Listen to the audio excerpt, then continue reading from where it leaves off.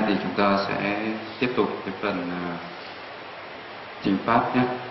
À, câu hỏi và trả lời.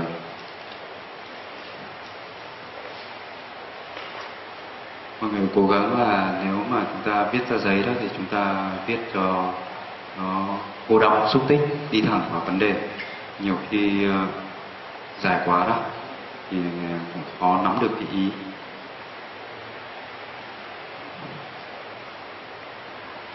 dài quá người viết dài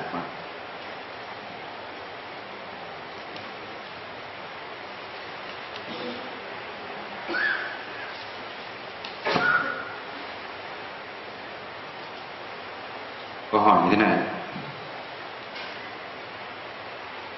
Tính bạch ngài thần sư, con ngồi thiền, con đang quan sát phòng xẹp ở bụng, thì con thấy hai hàm răng con cắn chặt vào nhau con thấy rất đau. Con quan sát cái đau thì con thấy tâm khó chịu.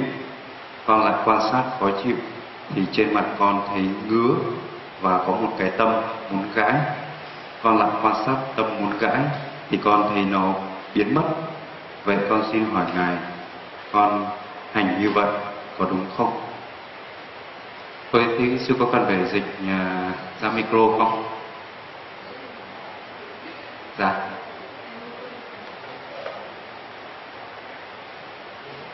So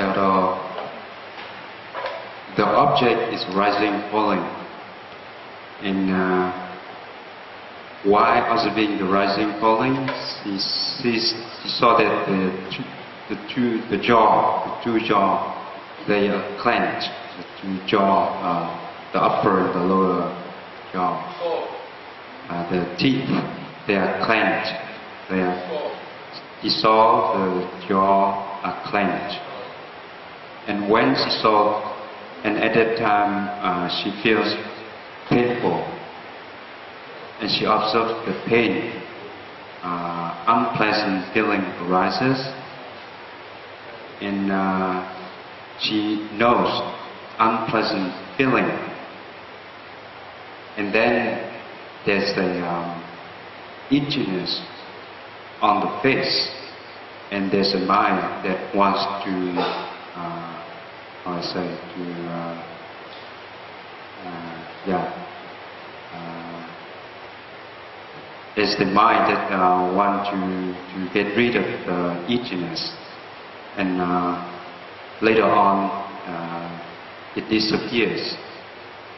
So is it uh, okay for the practice for the observation like that yeah so when you, every time you watch the pain or itchiness, the unpleasant feeling is appear in body, so you need to watch the unpleasant mind first. Then unpleasant mind go away, then come back to your body object. Dạ vâng, thì à, cái tiến trình của nó à, đúng là như vậy. Bất kỳ khi nào mà chúng ta thấy đau, thấy ngứa, à, vân vân, thì nó cũng có một cái sự khó chịu thì lúc này chúng ta cũng đừng quan sát trực tiếp vào các cái đối tượng đó là đau là ngứa mà chúng ta hãy chuyển sang ghi nhận cái sự khó chịu và khi nào cái sự khó chịu nó không còn nữa thì chúng ta lại quay trở lại quan sát vào cái đau hay cái ngứa But actually, the uh, we watch the painful and feeling. is not for the pain go away. You need to understand something about this relationship of the mind and the body object. Thực ra thì khi mà chúng ta quan sát cái đau hay là cái sự khó chịu đó thì cái mục đích quan sát của mình không phải là để cái đau nó qua đi, không phải là để cái sự khó chịu nó biến đi mà cái mục đích quan sát cái đau hay là cái sự khó chịu ở đây là để giúp chúng ta có một cái sự hiểu biết chúng ta hiểu biết về cái mối quan hệ giữa các cái đối tượng trên thân tâm từ cái việc quan sát đó nó sẽ giúp chúng ta hiểu cái gì đó thì đây là một cái tiến trình quan sát và học hỏi chứ không phải là cái mục đích của mình là quan sát để đối tượng đó biến đi Pain disappear is not our objective, or not our goal. vì mục tiêu của mình hay là cái mục đích của mình không phải là quan sát để đối tượng ở đây đó là cái đau nó diệt đi maybe the pain still there or not. We need to learn from the, the mind and reaction present or uh, uh, the mind is reaction is there, how to know the pain, and the mind is no react, reaction is disappear, then what do you, how do you see the pain? thế thì khi mà cái đau đó thì à, hay là cái sự khó chịu đó thì nó cũng vẫn có thể còn đó. Nhưng mà chúng ta sẽ thấy là cái trạng thái tâm quan sát và cái đau khi nó có sự khó chịu và cái trạng thái tâm quan sát cái đau khi mà cái sự khó chịu nó không còn đó thì hai cái, cái trạng thái này nó khác nhau như thế nào? Chúng ta rút ra được những gì từ hai cái trạng thái như vậy? Khi mà quan sát có cái sự khó chịu và khi quan sát cái sự khó chịu không còn có ở đó. When the mind is uh, unpresent or reacting, how do you think? The mind, what the mind thinking about the, what the mind think about the pain? When the reaction is disappear, then why, how the mind think about the pain? thế thì khi mà cái sự khó chịu nó có ở đó thì cái tâm của chúng ta nó nghĩ về cái đau như thế nào và khi cái sự khó chịu nó không còn thì tâm của mình nó nghĩ về cái đau ra sao hai cái suy nghĩ này nó khác nhau thế nào What different? Nó khác nhau ra làm sao thì chúng ta cũng sẽ quan sát. Và tìm hiểu à, xuyên qua cái quá trình quan sát cái trạng thái khi mà nó thay đổi như vậy. Uh, vì nhiều khi chúng ta chủ quan đó thì chúng ta thấy là nếu mà cái đau nó qua đi như vậy là mình cảm thấy nó thỏa mãn rồi và nếu mà thỏa mãn thì chúng ta lại không có học hỏi gì được nữa.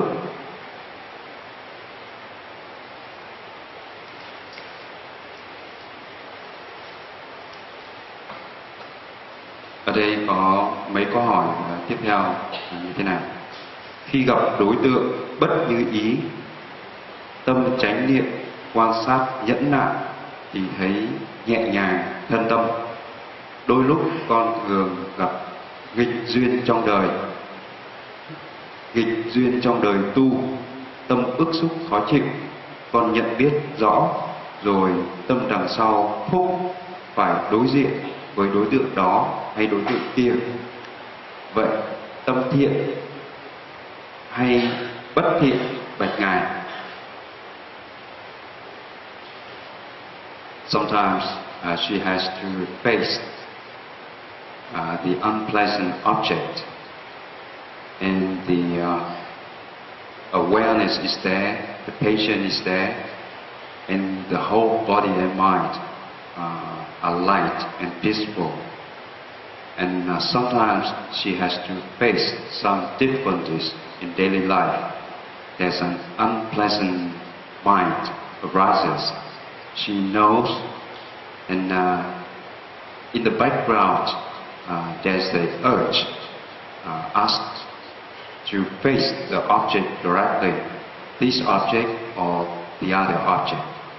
So that urge is the kusala or akusala.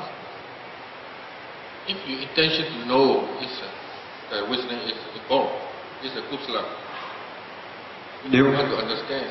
nếu mà cái thúc giục để cho chúng ta quan sát chúng ta tìm hiểu à, từ cái tiến trình như vậy thì đó là một cái trạng thái tâm thiện Maybe we all forget. à, nhưng mà chúng ta cũng phải lưu ý là nhiều khi là có cái tâm tham cái, cái trạng thái tham nó thúc đẩy nó lên lỏi ở đằng sau If your craving is present, the mind is not peaceful and tense, agitated. If your in- interest, uh, wisdom is uh, involved, wisdom is present, the mind has uh, energy, good energy to watch. và thông thường đó nếu như mà có một cái động cơ tham nó thúc đẩy đằng sau đó thì là cái trạng thái tâm của chúng ta nó không có được an định nó không có được bình yên. Và cái năng lượng của nó cũng không có được tốt. Thế còn nếu mà cái thiện tâm mà cái động cơ đằng sau đó là động cơ của một cái sự hiểu biết động cơ của một cái thiện tâm thì bao giờ nó cũng đem lại cho chúng ta một cái năng lượng tích cực If you face the difficulty, difficult object, we need to pay attention to the mental state, not the concept object. và tóm lại là khi mà chúng ta đối diện với một cái đối tượng gây ra cái sự khó chịu thì chúng ta đừng có quan sát trực tiếp vào cái đối tượng đó mà mình cần phải ghi nhận cái trạng thái phản ứng của tâm. Vì nếu mà chúng ta quan sát trực tiếp vào cái đối tượng đó thì cái đối tượng như vậy chẳng qua nó cũng chỉ là một cái đối tượng thuộc về khái niệm mà thôi. Thì cái mà chúng ta cần nhận ra ở đây đó là cái, cái trạng thái phản ứng của tâm.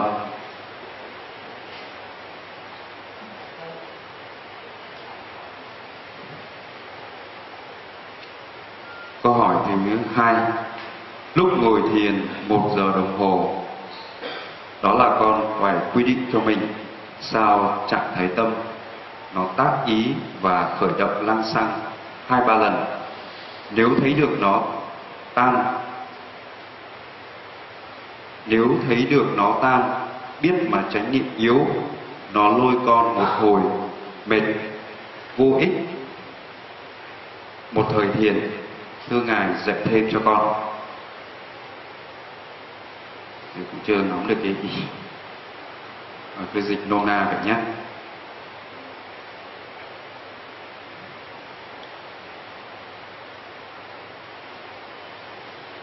Uh, in one hour sitting uh, so normally uh, the mind just go here and there uh, or thinking wondering a few times so if she can catch it, it disappears. But if the awareness is weak and uh, she just follow the storyline, so it means that in that sitting it is useless. So can you uh, give some uh, advice? Right. If you follow the thinking, it's, uh, this is a waste of time. So you need to notice and calm down your body. And If your awareness is weak, you just notice the thinking arising and calm down your body sensation is more easier to, to break up your strength. Thực sự thì nếu như mà chúng ta nhận thấy hầu hết ở đây đó là các cái suy nghĩ mà nếu mà chúng ta ngồi thiền mà lại theo dòng suy nghĩ tức là chúng ta theo các cái nội dung của suy nghĩ thì quả thực là cái thời điểm đó là uh, vô ích như vậy thì nếu như đã phát hiện ra cái suy nghĩ thì chúng ta hãy quay trở về quan sát đối với các cái đối tượng ở trên thân và để chúng ta à, thiết lập làm cho cái sự nhận biết chánh niệm nó ngày càng trở nên à, vững mạnh hơn.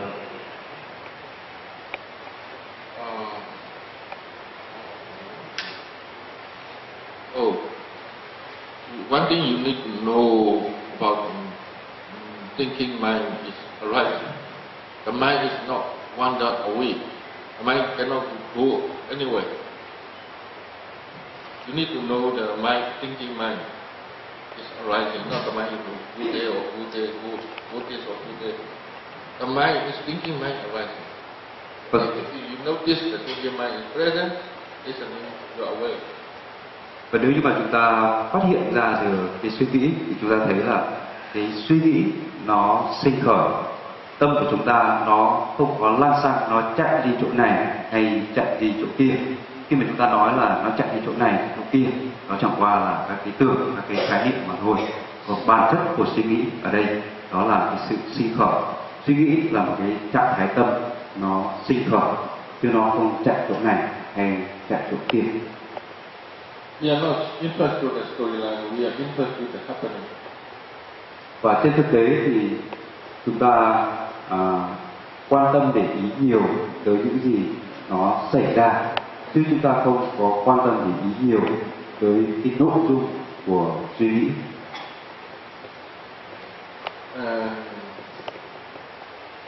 story must be, maybe story is a part of future.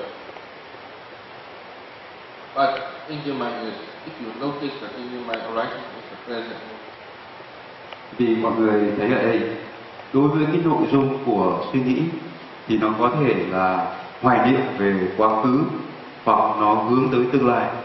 Nhưng mà ở hiện tại đó chính là cái sự sinh khởi của suy nghĩ. Suy nghĩ sinh khởi là ở trong hiện tại nhưng nội dung của nó thì nó có thể chạy về quá khứ hoặc hướng tới tương lai. If you are understand thinking is object, is awareness. và nếu mà chúng ta à, ghi nhận chúng ta chánh niệm à, biết rằng à, oh,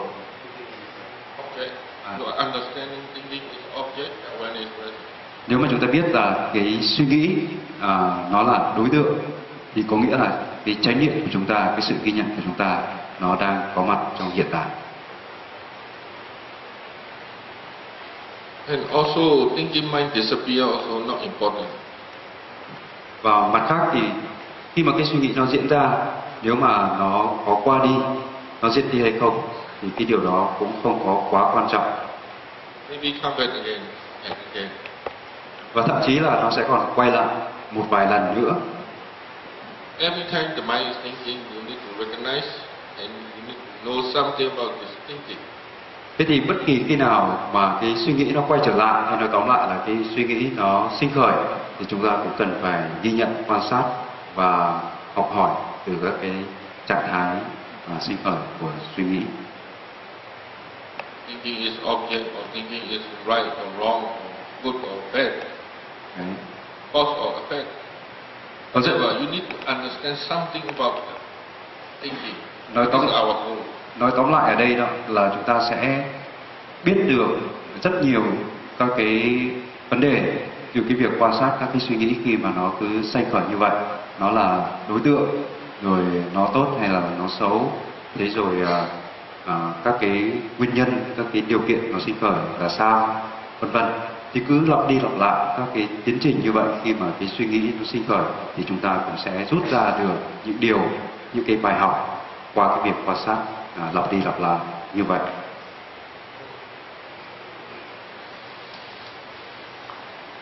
Câu hỏi à, thứ ba ngồi thiền để quân bình tâm lắng lắng động yên tĩnh. Riêng con yên thì ít mà động thì nhiều có phải con thiếu chánh niệm và nghiệp vận hành? Biết làm sao bây giờ hàng ngày? So the purpose of sitting meditation is to balance the mind, uh, make it calm and still. But in sitting meditation, uh, my my mind uh, is rattling still, but uh, is fluctuated all the time. Is it because I I lack mindfulness and because of my karma? Uh, so what should I do? So sitting is not for sitting. Purpose of sitting is not for calmness. People think sitting is the mind balance, make the mind balance, but actually it's not. The mind become balanced because the right attitude and quantitative awareness, the way to meditate, it is a balance, make the mind balance, not sitting. Many people sitting cannot peaceful. Nhiều người chúng ta cho rằng đó là ngồi thiền để cho cho tâm nó lắng động, nó yên tĩnh, nó quân bình, nó tóm lại như vậy. Nhưng mà thực tế đó, đối với rất nhiều người thì ngồi thiền thì tâm nó lại không có lắng động, nó cũng không có được quân bình. Mà sở dĩ tâm nó được lắng động và quân bình ở đây là do cái thái độ nó được chân chánh, có một cái thái độ đúng nó được thiết lập có một sự quan sát nó được duy trì một cách liên tục nhờ có có các cái yếu tố đó mà tâm nó trở nên trở nên là bình yên nó lắng động chứ không phải là ngồi thiền để cho tâm nó bình yên và quân bình If you have a right attitude and uh, continuity awareness, every posture, the mind is already calm and peaceful. thế còn nếu như chúng ta có được cái thái độ chân chánh và chúng ta duy trì cái sự quan sát một cách à, liên tục thì cho dù bất kỳ ở cái oai nghi cái tư thế nào chúng ta ngồi thiền chúng ta đi kinh hành hay làm bất kỳ điều gì thì tâm của chúng ta nó luôn luôn có được một cái trạng thái bình yên có được một cái trạng thái an tịnh People become agitated. but they are doing, go and sit, go and walk. Thế thì mọi người thấy có một cái nghịch lý là cứ bất kỳ khi nào mà cái tâm chúng ta chậm động thì chúng ta lại quay ra chúng ta ngồi thiền. Với tâm nó trả hối nó lăng xăng thì chúng ta lại đi ra chúng ta tìm chỗ chúng ta ngồi thiền. But actually, it's not because of sitting, not because of walking, you come down, because of awareness, the right attitude. nhưng mà thực ra thì lại không phải là à, do cái việc ngồi thiền hay là cái việc đi kinh hành mà tâm của chúng ta nó trở nên được bình yên trở nên được an tịnh mà thực tế đó là do chúng ta có được cái thái độ chân chánh do cái chánh niệm nó được duy trì cách liên tục nhờ vậy mà cái tâm nó trở nên an tịnh trở nên lắng động if you have the wisdom, if you have the right attitude or right thinking, immediately the mind comes down. Now, no need to sit. Thế thì bất kỳ khi nào, bất kỳ lúc nào, bất kỳ hoàn cảnh nào, nếu như mà chúng ta có được một cái sự hiểu biết đúng đắn và có một cái tư duy chân chánh thì ngay lập tức là cái tâm của chúng ta nó trở nên an tịnh. So your mind, when you're sitting tight, the mind agitation happens because something, some defilement is present. Như vậy thì Because of you wanting, or you're not satisfied, or you, or you don't know how to meditate. thế thì khi mà chúng ta ngồi thiền mà cái tâm nó lại trở nên à, bất an, nó không có được an tịnh thì có nghĩa là có một cái gì đó nó không có được ổn. Ở đây là có một cái phiền não nó sinh khởi, nó có thể do cái thái độ nó không có được chân chánh. Chúng ta đang mong muốn một cái gì đó chúng ta không có thỏa mãn một cái gì đó vì nó không có đạt được hay là một cách à, đơn giản hơn tức là chúng ta cũng không biết phải quan sát không biết phải hành thiền ra làm sao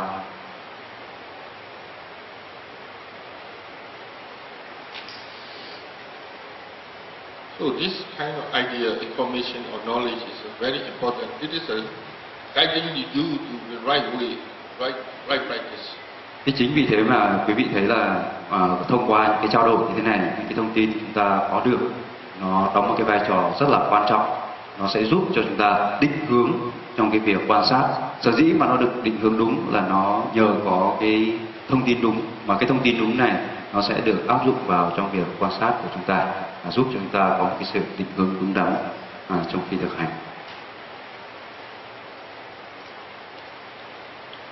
Kính bạch thiền sư, từ trước tới giờ con thực hành thiền theo phương pháp theo dõi hơi thở và không suy nghĩ gì. Giờ con học phương pháp thiền của thầy chỉ mới mấy ngày nay, con thấy rất phân vân, không biết con thực hành đúng hay không.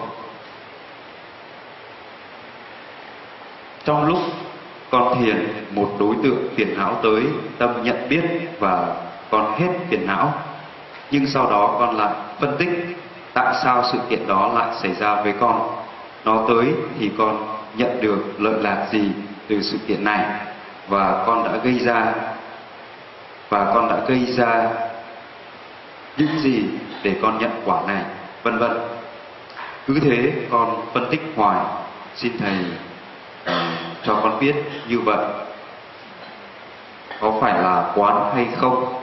Và con rất vân vân. Xin thầy giải thích cho con tỏ tường. Con cảm ơn thầy. Before that uh, I practiced uh, anapana. And uh, let the mind don't let the mind uh, don't think anything. Yeah calm down. And don't think anything.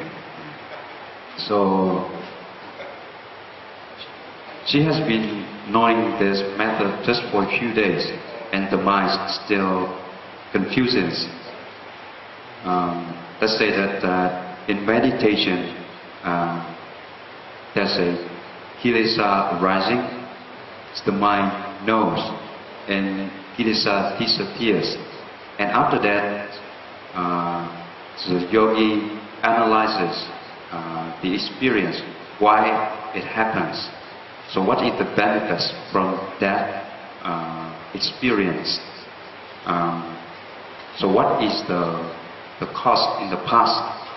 And at the present, she has that kind of uh, vipaka or the, that kind of experience. So she keeps analyzing on and on.